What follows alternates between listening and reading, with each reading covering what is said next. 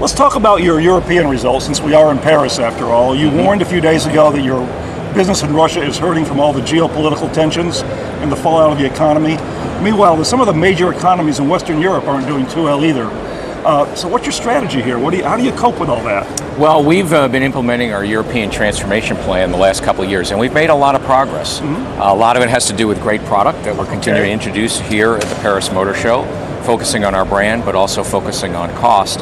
And what we've seen is, uh, despite a lot of progress, in a place like Russia, which we believe over the long term will be one of the largest markets in Europe, um, the economy is down, so we've had to adjust, and that's been part of uh, the reason we had to adjust our guidance, but still on a good trajectory.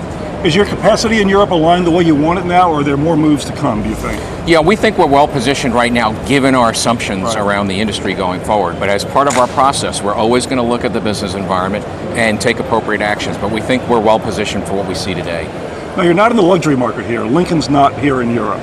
Any plans for that, or what are your plans for Lincoln broadly?